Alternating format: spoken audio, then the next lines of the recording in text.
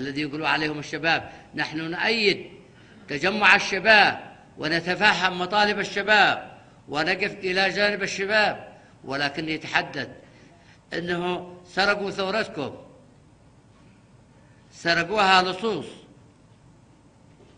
وأتحدث بثقة أنهم سرقوا ثورتكم أو سرقوا تجمعكم أو سرقوا طموحاتكم أو سرقوا متطلباتكم.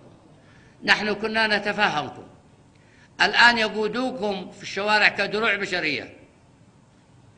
وهم من ورائكم مدججين بالسلاح.